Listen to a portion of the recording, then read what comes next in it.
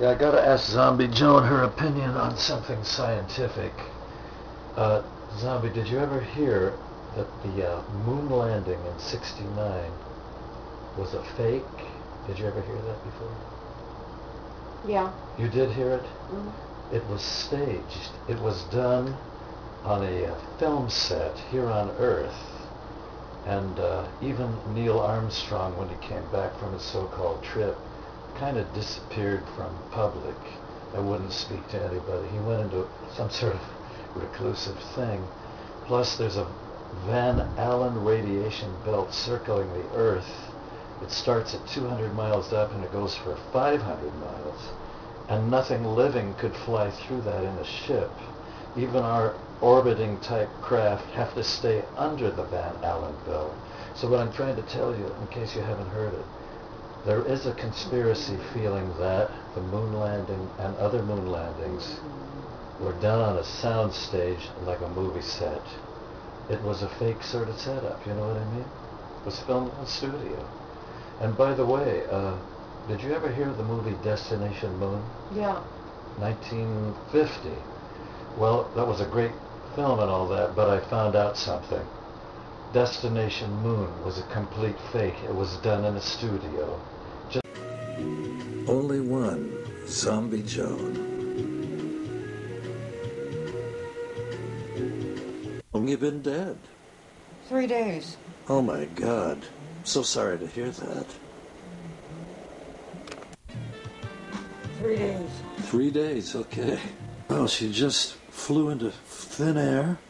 She just took off, disappeared, went straight up. Oh my God.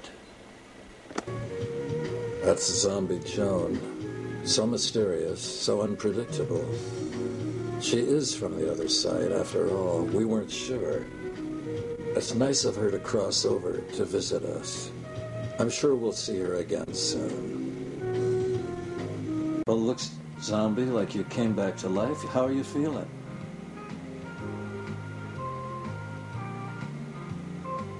Asked, how are you feeling, honey? You came back. Yeah, you came back to life because you were dead earlier. What time did you come back to life? Five o'clock. Five o'clock? Mm. Good. Yeah, I love that hat on you. How do you like dancing? Oh, it's alright. Good. Well, I guess that's about it. Anything else you want to add? Okay, well, we'll get back to you soon. Well, folks, I guess what? I found Zombie Joan. She was gone for two weeks at a smoking treatment center. Just stop smoking. And she hasn't smoked in weeks, and she's totally off of cigarettes. I'm going to show her to you right now. She's here now. Why, am I glad to find you. I've been looking for you for weeks. How are you? How are you doing? Hello. Are you feeling all right? Let me ask you, does it feel good to be off of cigarettes, honey? Pretty, pretty much so, yeah. Oh, good. That's good. Now, what's great about you is that you've totally stopped, and you're not going to light up again, and I that takes a lot of willpower, yeah. Because I know she was smoking for a long time, non-stop, Mm-hmm. Like as much as three and four packs a day, and now you're totally off of them. That's great.